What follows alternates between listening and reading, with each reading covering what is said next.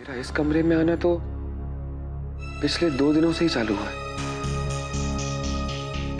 और इस रुमाल को खोए हुए तो कई दिन हो गए। फिर ये यहाँ कैसे?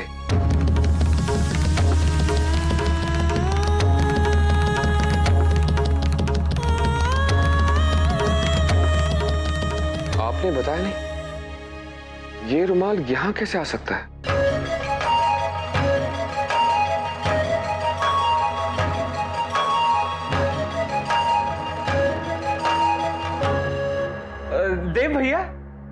वो हम ये कर मिल गया?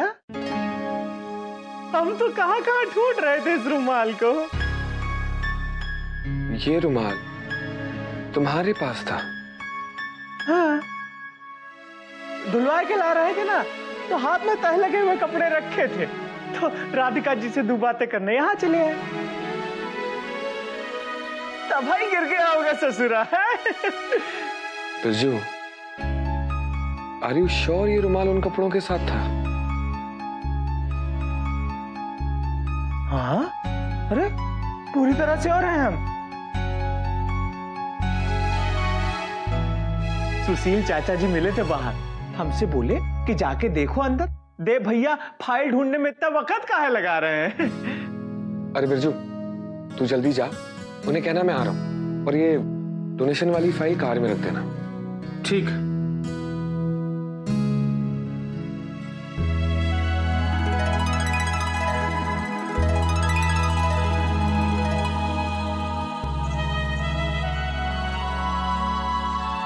मुझे माफ़ कीजिएगा। मैंने आपसे बहुत सारे सवाल कर लिए। कोई बात नहीं।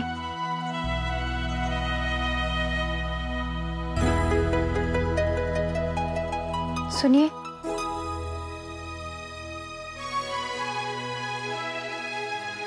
जी? आप पूछ रहे थे ना कि विशाखा को क्या पसंद है? उसे फ़िल्में देखना बहुत पसंद है। वो बहुत खुश हो जाएगी। थैंक्स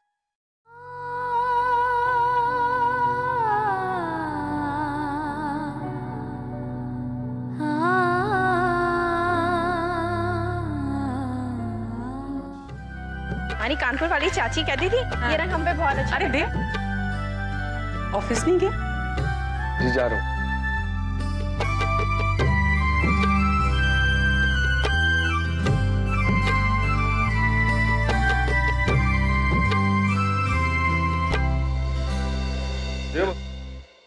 डोनेशन का फ़ाइल मिल गया ना? हाँ देख ली मैंने। ठीक हम भी देख लेंगे बाद में।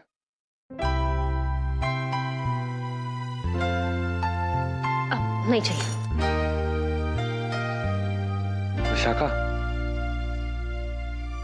जी। फ़िल्म देखने चलोगी?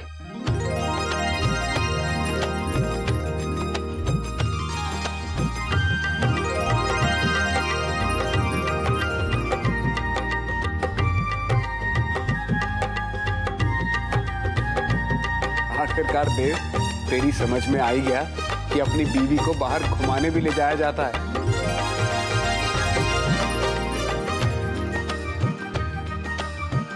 छोटी बहू ये मौका हाथ से मत जाने दो। नई नई शादी में शुरुआत में ही पति पत्नी को घुमाने ले जाता है। हाँ कह दो। कब चलना होगा। आज शाम को आप तैयार रहिएगा मैं गाड़ी भिजवा दूँगा।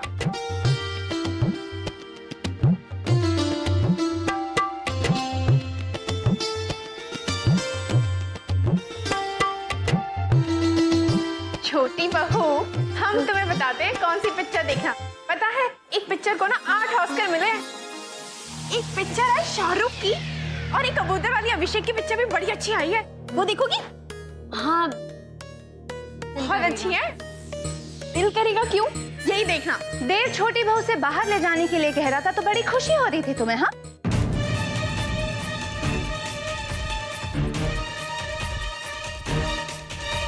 तुम्हें याद है आखिरी बार तुम मुझे बाहर कब लेकर गए?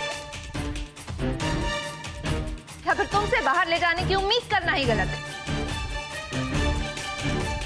बस बहुत हो गया। मैं आज शॉपिंग करने के लिए जा रही हूँ और मुझे पैसे चाहिए। शॉपिंग अचानक शॉपिंग क्यों बहू? क्यों मतलब? मुझे हर बात का रीजन देना पड़ेगा या फिर रिटर्न एप्लीकेशन दे अरे नहीं ऐसी कोई बात नहीं। बात ये है मम्मी जी कि मेरा शॉपिंग करने का मन है। And once and for all आप लोग मुझे बता दीजिए कि मुझे मेरी तरह जीने का हक है या नहीं? बिल्कुल है। छोटी बहू के पास तिजोरी की चाबी रखी है? ले लो उसे। मेरे पास? क्यों? भूल गई। पूजा के बाद मम्मी जी ने बड़े प्यार से अपनी छोटी बहू के हाथों में चाबियाँ सौंपी थी।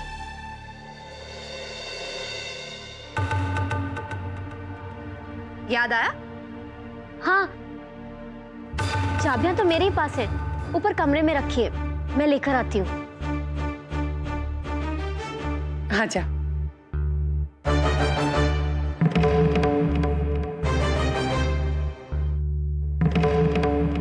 जीजी हम भी शॉपिंग करने चले। चाबियाँ? मुझे कब दी थी? ज़रूर सपने में दी होंगी। और कौन सी पूजा? मैं तो आरती से पहले आ गई थी। ओ वो हवन वाली पूजा से पहले दी होगी। पर उसमें तो राधिका थी। ज़रूर उसी ने कहीं रख दी होगी। चल, जरा पूछ के आते हैं महारानी से। देव विशाखा को बाहर ले जाने की बात कर रहा था, तब तुम्हें बड़ी खुशी हो रही थी, हम? तुम्हें याद है आखिरी बार तुम मुझे बाहर कब लेकर गए थे? क्या फिर तुमसे बाहर ले जाने की उम्मीद करना ही गलत है?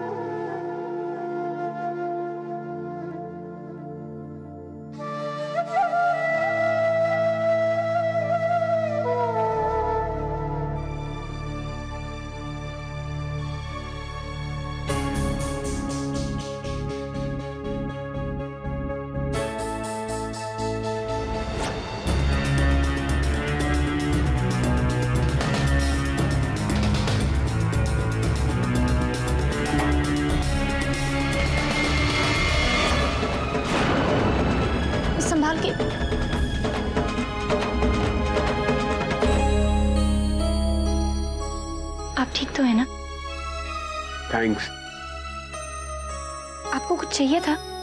वो मेरी दवाई गिर गई थी।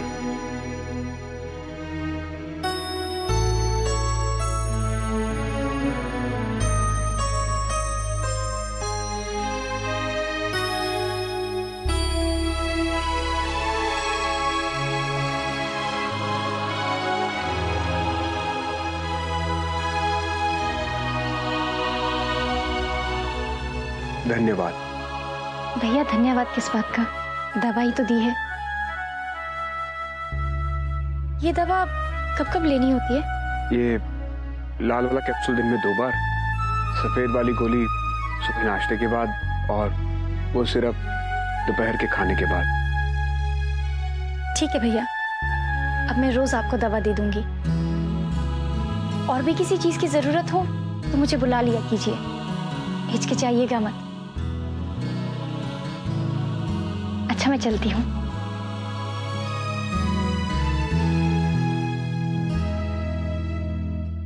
भैया, मैं फिर से दवा देने के लिए आ जाऊँगी। आप अपना ख्याल रखिएगा।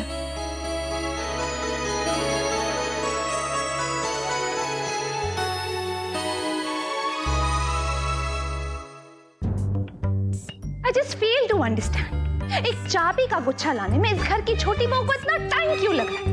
बहू। आ जाएगी, थोड़ा सब्र करो बेटा। सब्र? दादी, माँ जब से इस घर में आई हूँ, सब्र ही सब्र तो कर रही।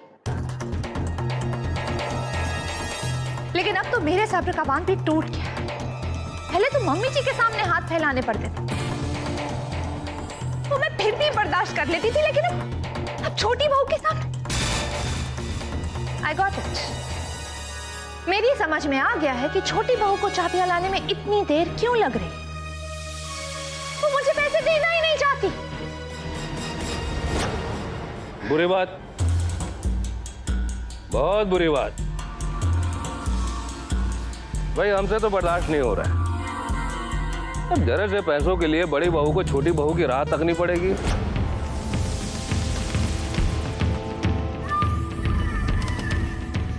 एक काम करो बड़ी बहू।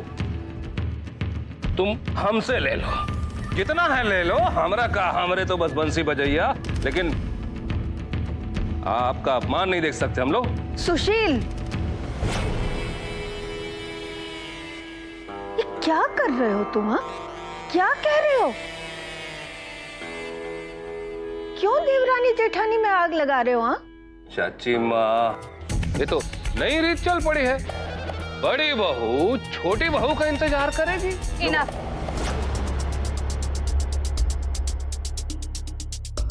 मैं एक काम करती हूँ। मैं खुद कमरे में जाती हूँ, छोटी बहू से चाबियाँ लेती हूँ, तिजोरी खोलती हूँ और अपने लिए पैसे ले लेती हूँ। सिंपल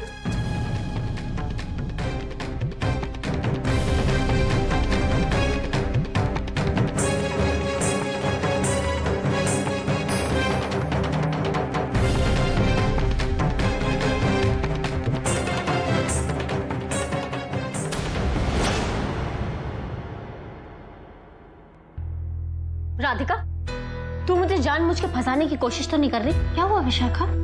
किधर थी तू? तुझे घर भर में ढूंढ रही थी मैं। मैं तो यही थी।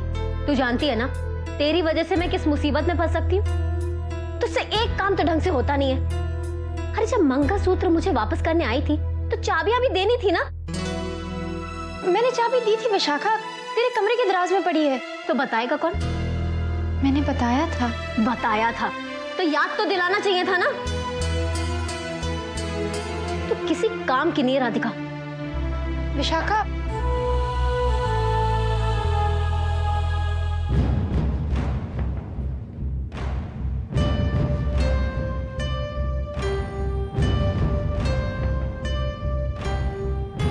विशाखा तुम यहाँ क्या कर रही हो? जी आपके लिए पैसे निकाल रही थी। बाय द वे तुम पैसे लेने आई थी या चाबियाँ दोनों तुम्हें कैसे पता कि मुझे कितने पैसों की ज़रूरत है? तो अब आप ही बता दीजिए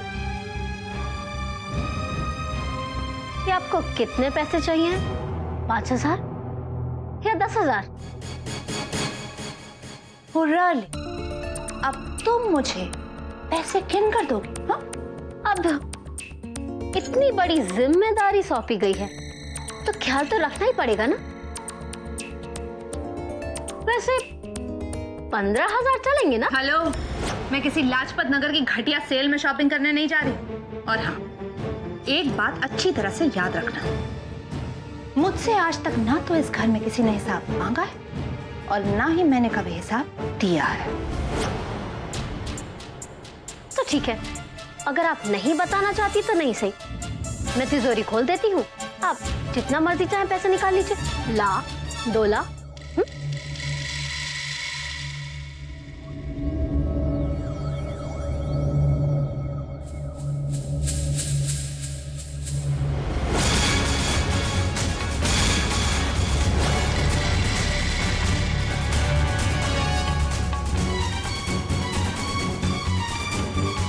बस इतने से पैसे? तो तुम्हें क्या लगा? पुरोहित खानदान की सारी जायदाद इस तिजोरी में बंद होगी और चाबियाँ तुम्हारे हाथों में सौंप दी गई। प्लीज़, इसमें सिर्फ़ घर खर्च के पैसे रहते हैं। बंद कर देना।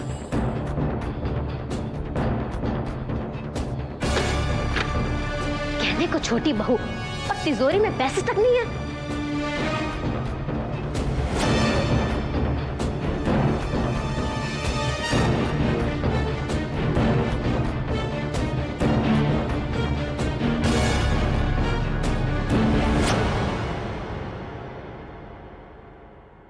मैम साहब, देव भैया ने गाड़ी भेजी है, आपको मंदिर ले जाना है। अच्छा ठीक है।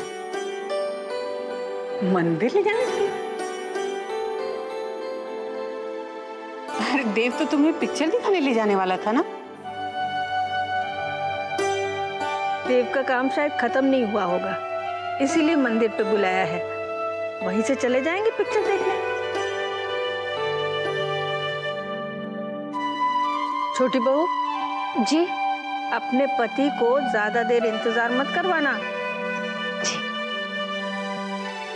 जाओ जल्दी से तैयार हो। राधिका तू भी चल।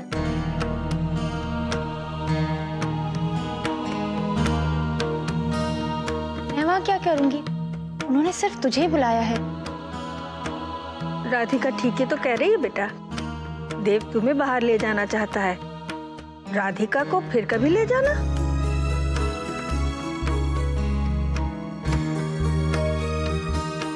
फिर कभी क्यों दादी माँ? मैं तो राधिका को आज ही ले जाना चाहती हूँ। तो समझ नहीं रही है? चल साथ। तुझे अगर मेरी बात नहीं माननी है तो मत मान। लेकिन अगर तू नहीं जाएगी तो मैं भी नहीं जाऊँगी। विशाखा, रुक। ठीक है मैं तेरे साथ चलूँगी। सच? तो चल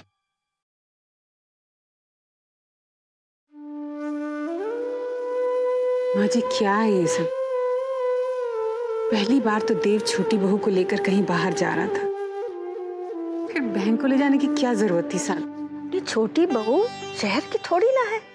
वो वृंदावन की है। इसीलिए उसे संकोच हो रहा होगा। और वैसे भी।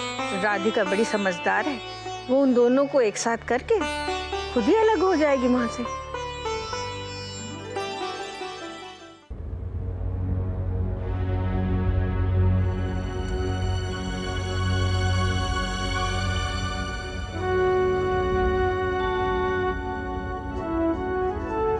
विशाखा, देख विशाखा, समझने की कोशिश कर।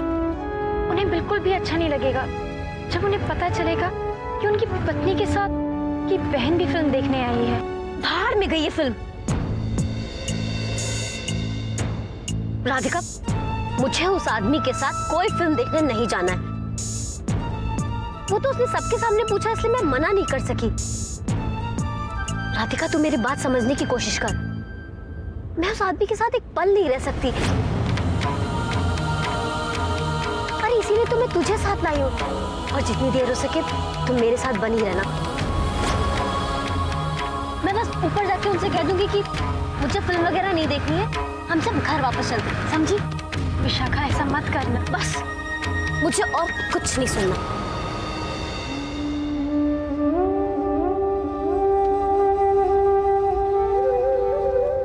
आप ही हैं जो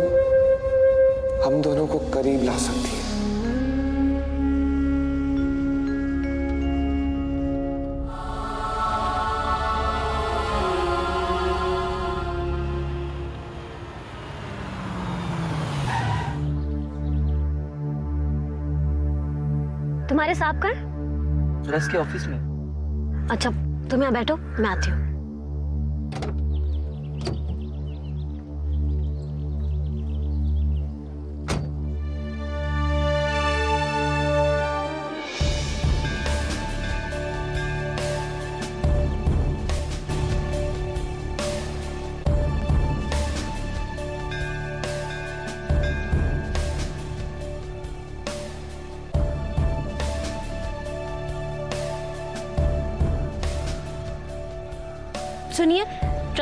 कहाँ पर है?